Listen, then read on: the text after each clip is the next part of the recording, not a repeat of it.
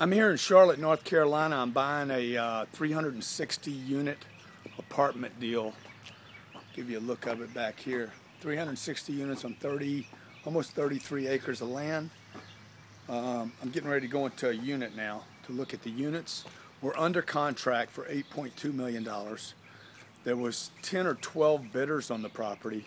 I'm the only one from Los Angeles, from California, and I got control of the deal. So um, I have 12 days to do my due diligence, at which time I go non-refundable with a quarter of a million dollars.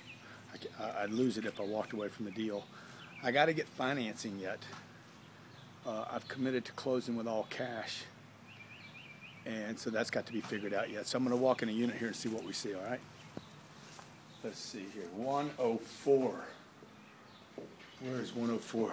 The units look good. Place needs new roofs. New roofs. Um, you know, you can see some deferred maintenance, not keeping it real clean right now, not paying attention. This is upstairs. Got some floorboards that need to be worked on probably. Uh, but overall, it looks good. It's just the bank owns it, so it's never going to perform well if the bank owns it.